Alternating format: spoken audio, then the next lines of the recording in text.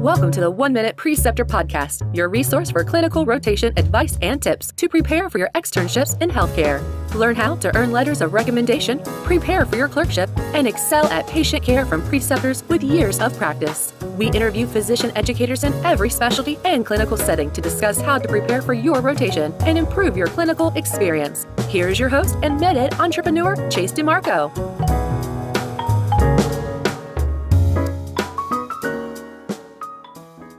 In this episode, we are joined by Dr. James Gomez, who is a board certified OBGYN in the greater Chicago area.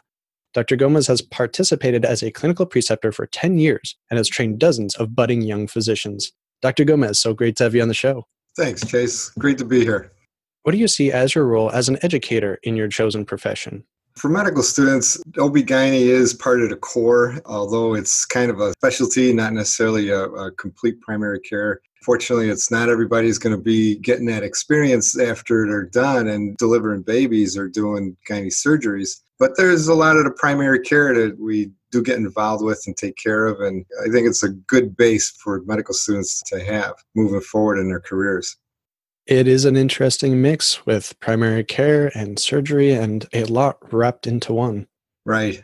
In what setting do you generally teach? University, community setting? So I have a solo private practice. I'm I'm not working with a group or nurse practitioners. So uh, it's a community hospital I work out of. So from my office to the hospital, and it's a community, so it's not like there's not residents around. It's just the nurses and and how much uh, students are, are able to get involved. But it's from the office and and the uh, hospital. So it offers a great mixture for students to gain education and experience in. Right, exactly. And how many students do you generally teach? Well, it's it varies. It's between one, two, sometimes three students at a time. Four to six week rotations. Some some of them are fourth year students doing electives. Some of them are third year students, their first rotation, and they haven't had any surgical or really hands on patient experience. My office happens to be kind of small, so I don't like to take too many people at the same time and then it just kind of dilutes it and then nobody learns anything. So it's uh, try to keep small groups. And what type of students do you generally take? Only md and do or are there also opportunities for pas shadowing nurse practitioners I've had PAs, I've had uh, nurse practitioners. So who has it depends on the schedule and who's available and uh, what the requirements are too. It's like nurse practitioners don't really do anything in the hospital; they'll just do outpatient stuff. But most of them are medical students. Great diversity, it sounds like. Yeah. What do you feel makes a good or great preceptor in your specialty? Well, I mean, it's kind of like a, a greater good doc. First of all, you got to care. You got to care about the person you're you're uh, you're trying to teach. You know, if you you uh, have a somewhat of a vested interest, and that goes. It's a two way street on that too. So if the student comes in and doesn't really care, then it's not interested. Then it makes it tougher to teach that person. But a good preceptor is going to figure that out, see what the strengths and weaknesses are, and help them kind of nurture them along, move them along to see what they may be good at and what it, they may be weak in, and help them to get a little stronger in that, or even and enhance their strengths too. What do you feel are some unsafe practices that preceptors in your specialty might take? Well, I, I, guess like anything else, is you you can be lazy and and you're not necessarily doing uh, student justice if you you're not there to watch them and and you know doesn't necessarily have to hold their hand the whole time, but you have to I guess keep them on a short leash, so to speak, and and not let them go wild and run away. So you got to pull them back and show them, hey, this is what you're supposed to be doing. This is how you got to do it, and keep close eye. I mean, say we're doing pelvic exams, so I'm not going to let a student go in and do a pelvic exam by him or herself. It's I got to be there with them and even almost put my hands on their hands to, to do the, the procedure the right way. Proper mentorship. I like it.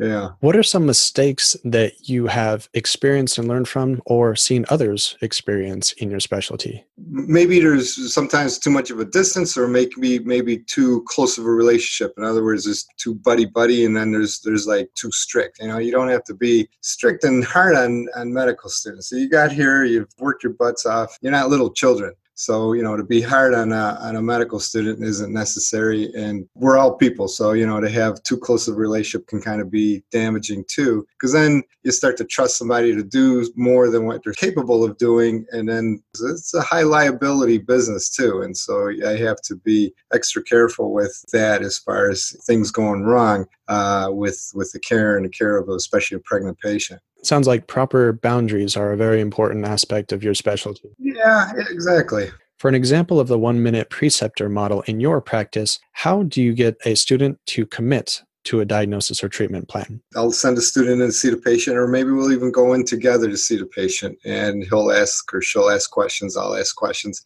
to the patient, and then start guiding the student to narrow things down into what could be the potential diagnosis what that is then is the um, you know before i blurt out what i'm doing i'll always ask well what do you think? What's on your mind? And what's your differential? Which way you're going with this? So i'll let them make their decisions before i tell them all right this is what we're doing and kind of push them push them through that.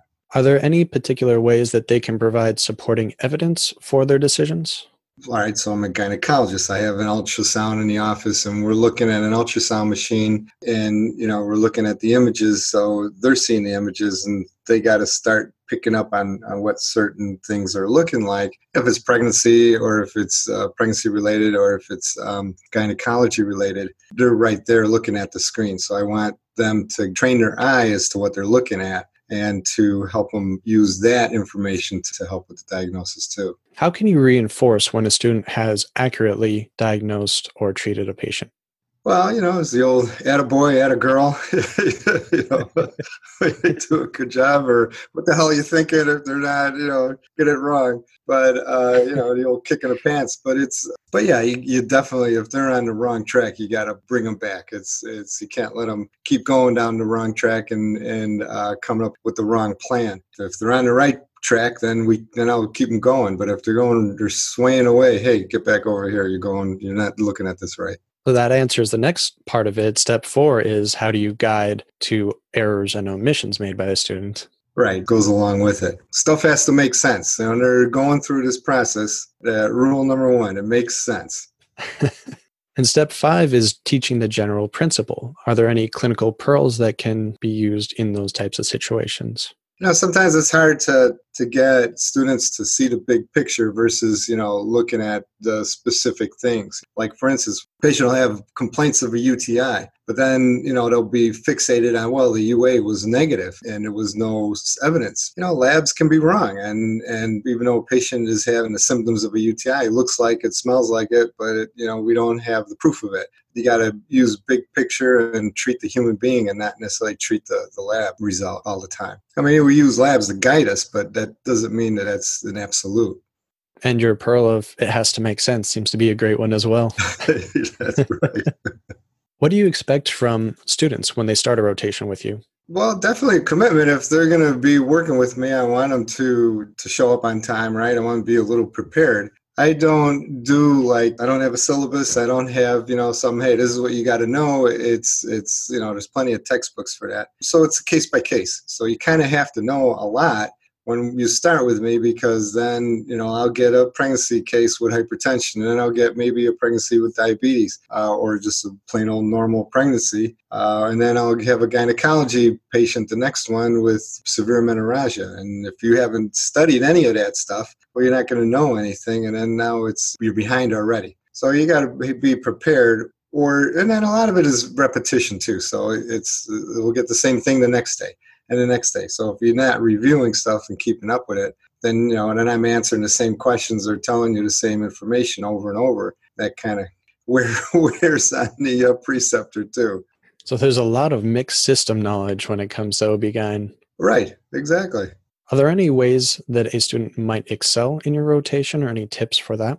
You know, depending on where some students live kind of far and don't have transportation, so it makes it difficult for them to be there at two in the morning for a delivery or sit in labor with a patient who may not deliver for 24 hours. You never know. Uh, so that kind of uh, time commitment is tough, but necessary. So the more the more you put into it, the more you're going to get out of it. The more you're going to see, the more uh, experience you're going to get. So it's uh, it's a, it's the individual, really If a student is looking for a letter of recommendation from you, what are some tips they can use to guide them? Well, I mean, you know, I expect you to work work hard and uh, and ask.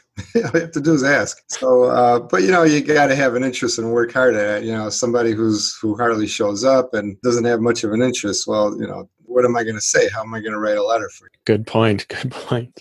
Are there any particular mistakes that you've seen past students make? I think that's a good point, Chase. One of the things is sterile technique. You know, a lot of people forget that. You know, you'll you'll touch something that's contaminated, and then you'll touch something that's not contaminated. So that I think uh, almost every student of mine has has done that. They forget. You know, you touch this, and now you're touching other things. And You know, like, hey, get, don't do that. Go through a lot of gloves then. right. Are there any resources that you would recommend for students before they start your rotation? You know, I, I don't. Um, ACOG is American College of OB-GYN has a lot of stuff, but I don't have any particular textbook that's, uh, you know, that I would say, yeah, this is the best thing that you can look at. Not really sure. All right. Are there any parting thoughts for students? Well, good luck. I mean, this is you're here for a reason, and you know that's that's uh, your choice, and you got to work hard at it if you want to be a good doc. And uh, we all make mistakes, and it's just learn from it and don't do it again. Any thoughts for physicians looking to start precepting? Patience, man. You got to have patience with these kids. you got to be good to them too. Don't be good to you. well, Dr. James Gomez, thank you so much for coming on the show today. Chase, it's been a pleasure. Take care. Good luck to you too. Listeners, I want to thank you for listening to the show, and I hope you are sharing it with your classmates, coworkers, and anyone interested in medicine and education. The show is growing rapidly, and I want to sincerely thank each of you for taking the time to listen. There are many things you could be listening to now or spending your time on, so it means a lot that you find value in this material. If you have any suggested topics, please find FreeMedEd on Facebook, Twitter, Instagram, or email freemededweb at gmail.com. We actually have so many topics that we would love to cover and would actually be interested in releasing episodes more frequently than just once a week. But to do this, we need help. It takes a lot of time to find and research guests, schedule meetings, record the show, edit the episodes, and then post all of this to the relevant feeds. If you would like to help out, I can train you on networking, audio editing, and social media. This can reflect positively on your CV as well. So if you would like more episodes or just want to learn new skills, reach out to any of our free MedEd accounts.